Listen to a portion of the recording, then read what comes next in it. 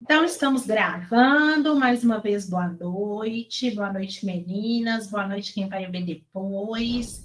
Estamos aqui para mais um encontro. É, esse encontro é um mais um encontro da série de encontros que a gente está fazendo de aulas bônus sobre a legislação do SUAS. É, o foco é o concurso da PBH Assistência Social, mas as aulas servem para qualquer concurso da área da assistência social e alguns até para a área do serviço social também.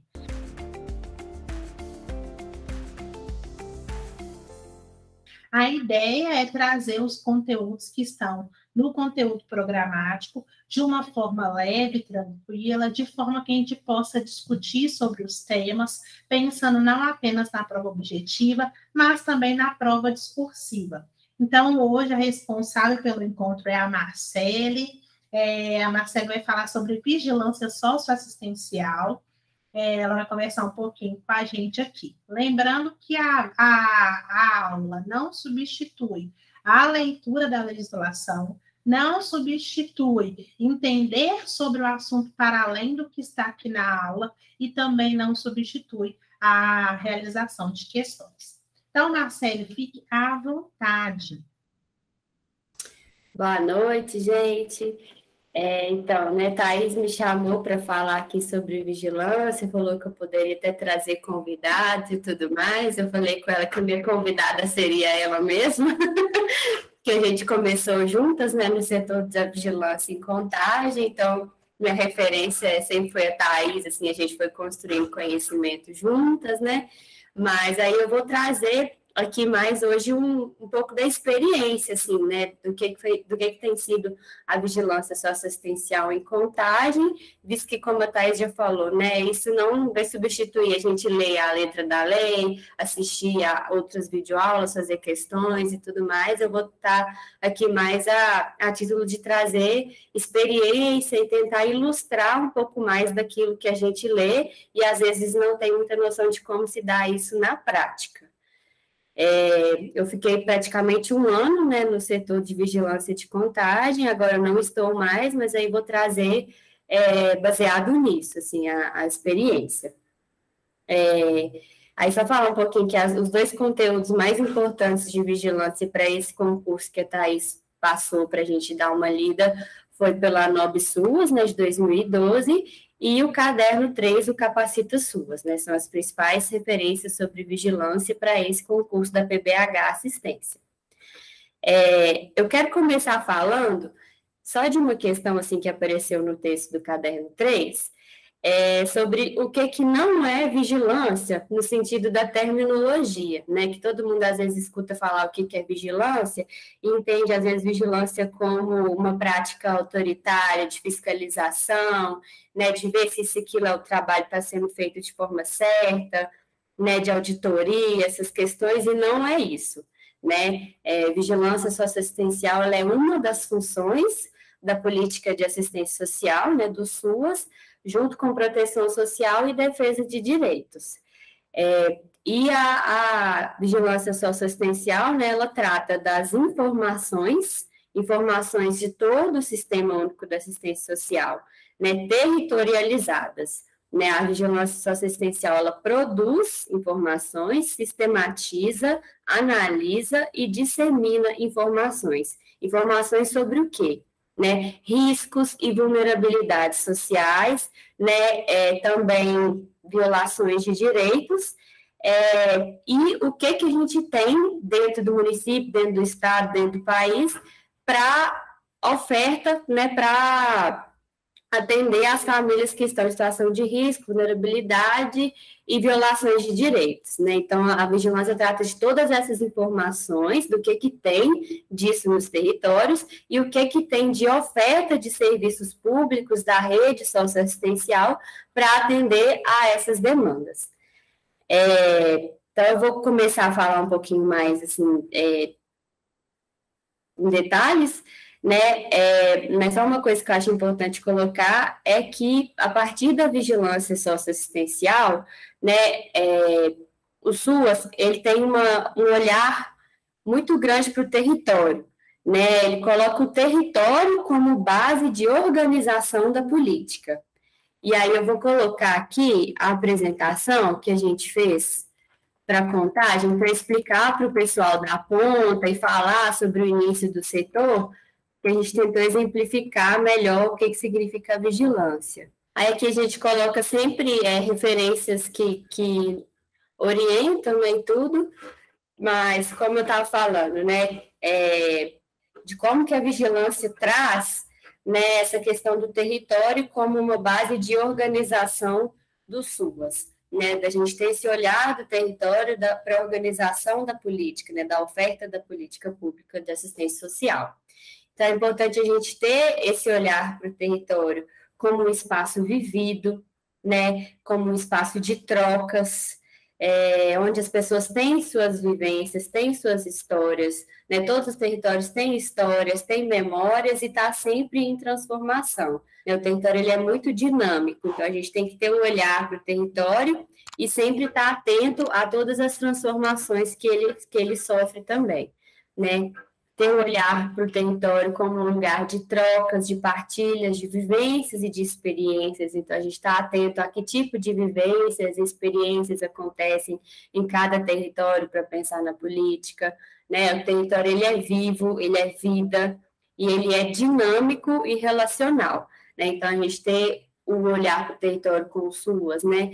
Do tanto que ele é dinâmico, do tanto que tem ali as relações, às vezes as violações que acontecem, né, em que, que a gente pode pensar em prevenção nesses territórios a partir das suas especificidades, né, do que, que a gente tem de potencialidade nesse território, o que, que a gente também tem de desafio. Então, o olhar para o território é essencial para a vigilância socioassistencial e para o SUAS.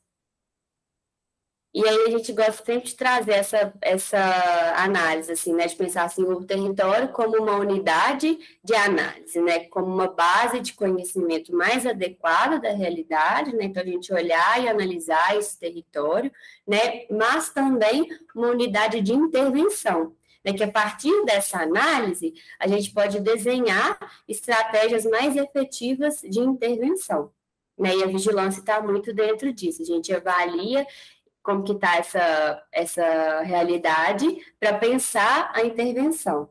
Né? A vigilância no âmbito da gestão, né, que ela funciona muito na gestão, né, função dos SUAS enquanto gestão também, principalmente, para pensar no planejamento né, e numa tomada de decisão mais assertiva.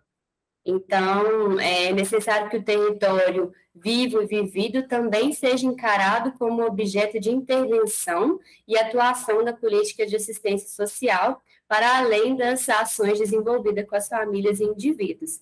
Né? Então, a gente tem que olhar para esse território também como um, objeto mesmo de análise e de intervenção do SUAS.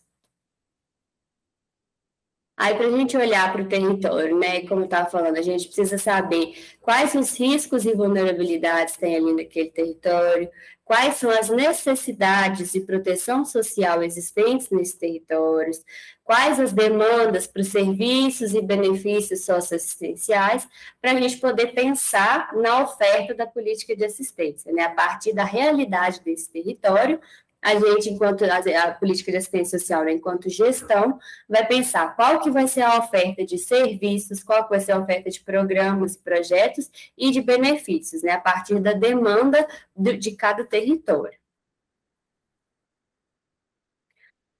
Aí, como eu já disse, né, a vigilância socioassistencial é uma função da política de assistência social, ela desenvolve meios técnicos para que gestores e profissionais do SUAS possam conhecer as formas de vulnerabilidade social existentes nos territórios, né? Então, a partir de analisar os dados que os equipamentos produzem ali no dia a dia, de atendimento e de acompanhamento das famílias, né? A gente consegue identificar, quantificar é, quais são as formas de vulnerabilidade acontecendo ali nos territórios, né?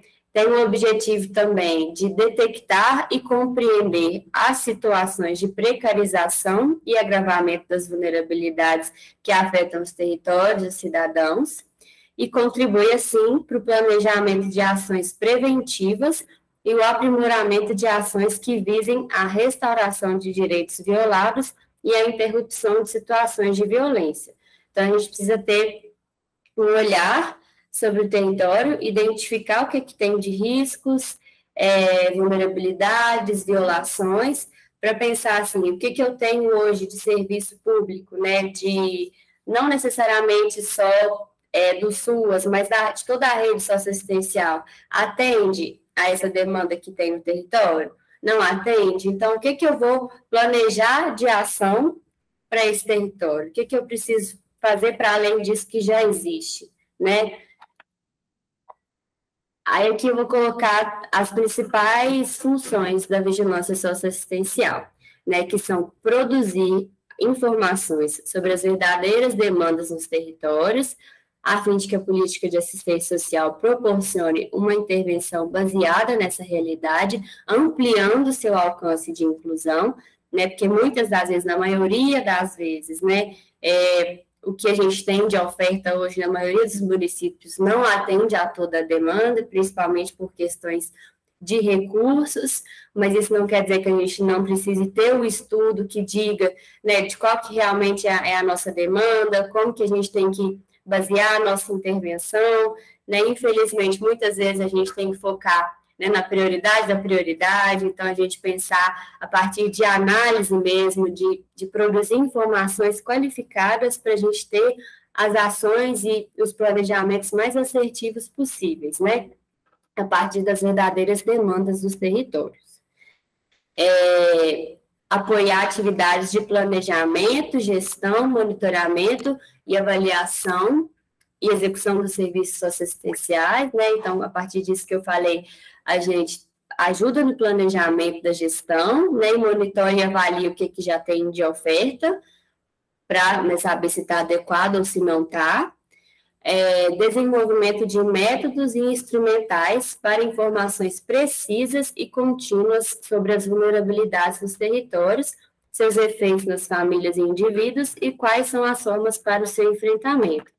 Né, acho que é muito importante a gente falar aqui nessa questão do desenvolvimento de métodos e instrumentais, porque algum, é, vigilância assistencial nem sempre acontece em todos os municípios, né? Por ser uma coisa mais nova, é, por mais que seja muito necessário e muito importante, a gente sabe que a realidade dos municípios hoje nem todos têm a vigilância assistencial. Muitas das vezes tem, às vezes, uma única pessoa que é responsável pela vigilância, né? É, mas a gente sabe que existem os sistemas né, de informação, que são instrumentais muito valiosos para a gente colher dados, e que alguns municípios têm, outros não têm. Mais para frente, um pouquinho, eu vou falar um pouco sobre essa questão dos sistemas, mas é importantíssimo que, mesmo não tendo sistemas, que a gente tenha instrumentais para colher dados e informações sobre os usuários, sobre os acompanhamentos, sobre o perfil, sobre as vulnerabilidades, os riscos, as violações, para a gente saber como, quais são as formas de enfrentamento, né? Para a gente conseguir planejar como é que vai ser a oferta. É, e uma outra das funções principais né, da vigilância é também produzir e divulgar informações possibilitando conhecimentos que contribuam para a efetivação do caráter preventivo e proativo da política de assistência social, assim como para a redução de agravos, fortalecimento da função de proteção social do SUAS. É, então, né, para a gente pensar a operacionalização da vigilância socioessencial, falar de uma forma sistematizada, assim, né, das principais, das principais atividades, né, da assistência social. Examinar o ajustamento entre o que é ofertado e a real necessidade das famílias e indivíduos. Então, a gente precisa saber, né, é, quem são e onde estão as famílias em vulnerabilidade, risco e sofrendo violações de direitos no município, né, saber onde que elas estão, as áreas, a quantidade, que, que violações são essas, que riscos são esses, que vulnerabilidades são essas, e saber, por outro lado, quais são as ofertas que a gente tem no município, não só da assistência social, mas no geral de política pública, né, de toda a rede socioassistencial. Então, o que está sendo ofertado atende à real necessidade da população? Não atende? Então, a gente precisa ter isso muito bem identificado para a gente conseguir pensar qual que vai ser a oferta, planejar a oferta e dizer uma oferta realmente baseada em dados e na realidade do, daquele município. É, é uma outra função, né? Gerar e sistematizar as informações e indicadores sobre riscos, mas também sobre as potencialidades dos territórios, né? Que é muito importante a gente também não só identificar o que, que tem de desafio, de risco, mas também saber o que, que é a potencialidade, né? O que, que tem ali de oferta e potencial que pode atender a uma questão ali que está precisando, né? Avaliar padrões de qualidade das ofertas da política de assistência social, né, então a gente saber do padrão de qualidade mesmo dessa oferta, se está atendendo, se não está, né, nessa parte aí, é, ter o um monitoramento e avaliação da oferta também é muito importante, é uma das principais funções da vigilância socioassistencial, é, identificar pessoas que estão em situação de exclusão social e sem acesso a serviços e benefícios sociais, orientando as equipes na busca ativa. Isso é uma questão muito importante, porque por mais que a gente examine né, o que, é oferta e o que, que é a demanda, a gente também precisa identificar acesso, porque muitas vezes existe ali o equipamento, mas ele está muito distante da população que precisa dele. Então, ele está atendendo? Né? A gente precisa, a partir da vigilância, identificar isso, sim né, é, pensar onde estão distribuídos, né, onde que está a capilaridade desses serviços, né, se a população está conseguindo acessar, se não está, né, se vai ter que ser realizada uma busca ativa, né, do equipamento sair de dentro dele e até os territórios onde mais precisam, né, eu acho que aqui, né, Thais, um exemplo que a gente pode citar é, disso, assim, de uma estratégia que Contagem pensou, foi na questão das equipes volantes né, que a gente, depois, acho que se o pessoal tiver interesse até de ver os slides que a gente fez pensando nisso, é, a gente precisou de fazer um estudo para poder entender onde, para além dos CRAS existentes, onde mais precisaria de ações do CRAS, né, dos serviços do CRAS e tudo mais, para chegar nas famílias onde o CRAS também não chegava, né? Então é muito importante a gente pensar essa questão do acesso. É, eu até estava olhando aqui uma outra questão de buscativa que estava passando muito no jornal ontem, antes de ontem, a questão do número de pessoas sem atualizar o cadastro único e com risco de perder o, o benefício. Né? E aí uma das, das funções da vigilância né, é informar, quer ver, ó, auxiliar a ações de busca ativa, mas não só de CRAS, de CRES e tudo, mas pensando nessa questão assim, temos muitas famílias, que é o que está passando no jornal, né? Muitas famílias estão precisando de atualizar o cadastro único, né? E o que, que a gente faz com essa informação nos municípios? É pegar as, a base de dados do cadastro único, né? olhar onde estão os endereços dessas famílias, passar para os CRAS, passar para os equipamentos, para poderem fazer a busca ativa dessas famílias. Eu não sei se, acho que ficou um pouco confuso essa forma que eu falei aqui, mas é um exemplo de forma de orientar é, equipes na busca ativa nesse sentido, né? A gente está aqui com essa informação de todos os municípios que temos milhares de famílias sem é, fazer a atualização do cadastro único com risco de perder benefícios, né? Como o Auxílio Bolsa Família, né, Auxílio Brasil, como outros também, BPC e tudo mais. Então, a vigilância ela tem essa função também de orientar na busca ativa no sentido assim, eu tenho esses dados aqui, a base de dados do cadastro com endereços, posso te entregar um estudo aqui que mostra onde você deve ir fazer busca ativa e chamar essas famílias né, para o acompanhamento, para o atendimento, para atualização do cadastro, né, entre outras questões né? Assim como a gente pode também fazer uma busca, por exemplo, para orientar os CRAS, né? Famílias que estão em situação de extrema pobreza, olha, CRAS, essas famílias aqui não estão cadastradas aí no CRAS, né? Com sistemas ou base de dados que a gente tenha ali, a gente consegue, a partir da vigilância assistencial, mostrar para os equipamentos é, onde ele pode ir no território que não está sendo atendido pelo CRAS. Acho que ficou um pouco confusa essa parte, mas qualquer coisa, Thaís, depois fala um pouquinho sobre isso. É, e uma outra função também da vigilância que a gente trouxe aqui é monitorar situações diversas de violências, principalmente voltada contra crianças, adolescentes, pessoas idosas e pessoas com deficiência, né, que são os públicos prioritários da assistência.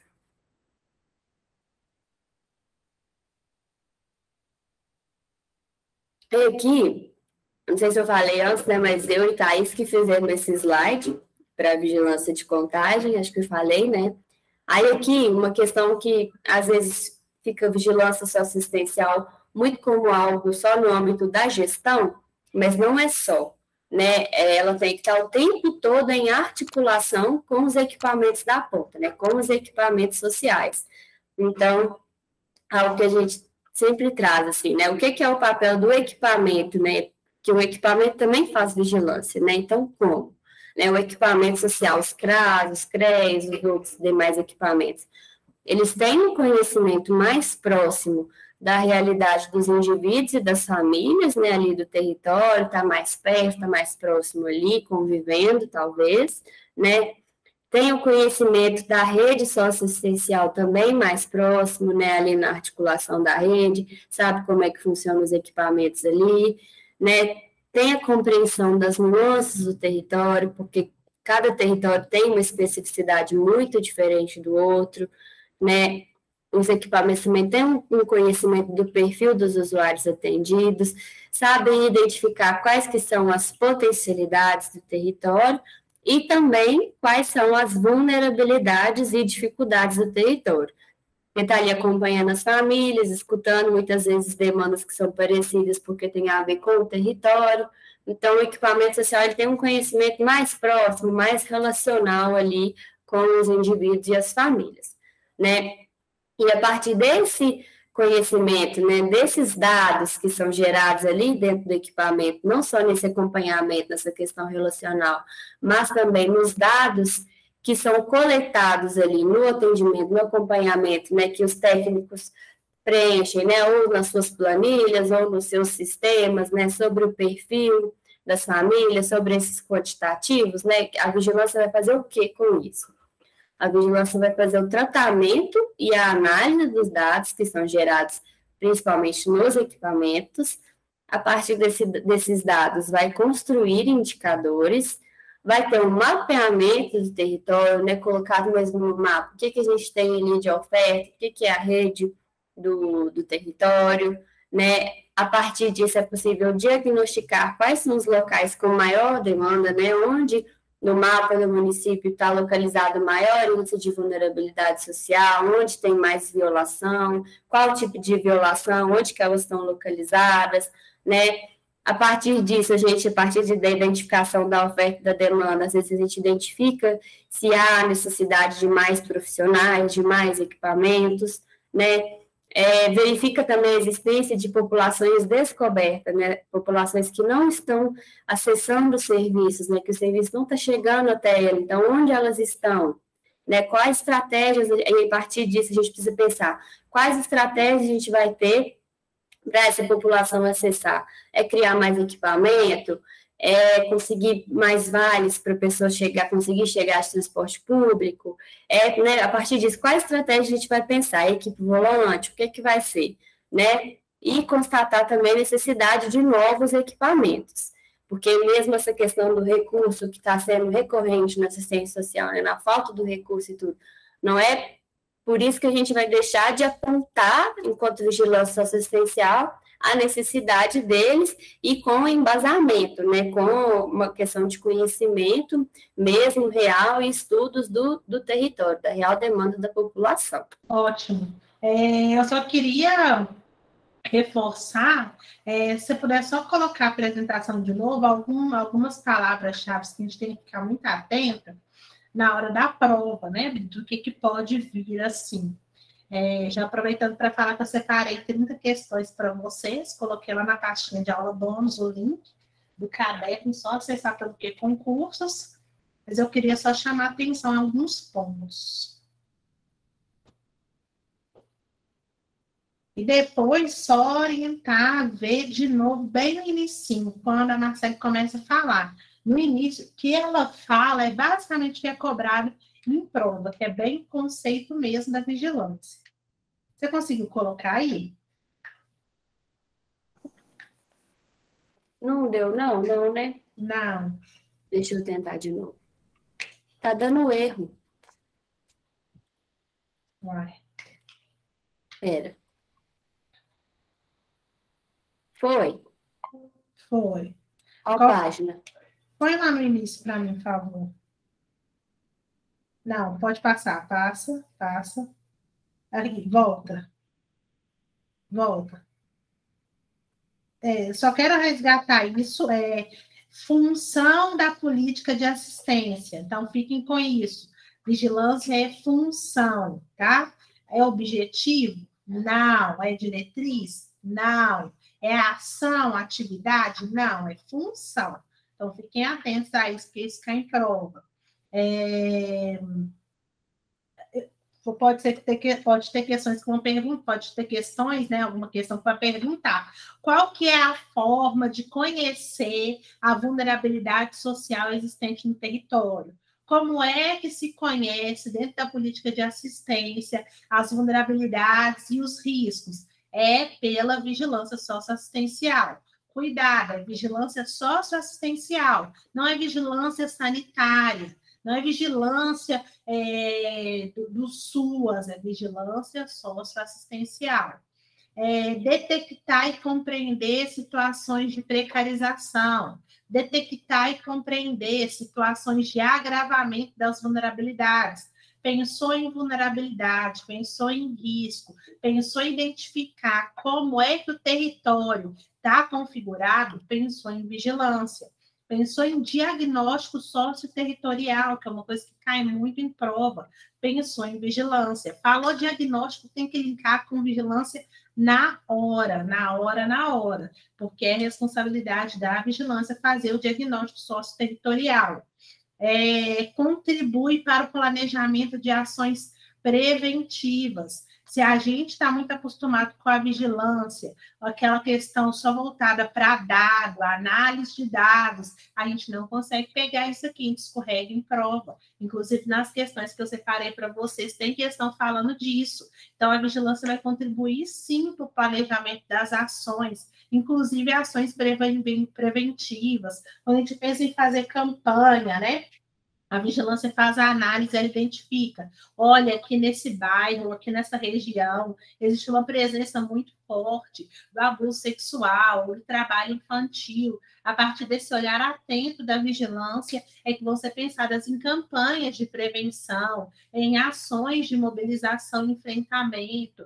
Então, é por isso que contribui para o planejamento de ações preventivas, contribui para o aprimoramento das ações, visa restauração de direitos violados. Se você pega na sua prova que visa a restauração de direito violado, que visa a interrupção de situação de violência, básica, muita gente vai escorregar, vai achar que isso aí é proteção social especial de média complexidade, não é, é da vigilância, porque com o olhar atento, a partir do momento que identifica vulnerabilidade no território, consegue apontar para a gestão, apontar para as unidades. A partir daí, isso é que vai gerar as ações de prevenção, ações proativas dentro do território, ações, inclusive, visando a restauração dos direitos violados. Então, essa parte aqui é extremamente importante, não pode deixar passar, principalmente esses peguinhas que coloquei para vocês,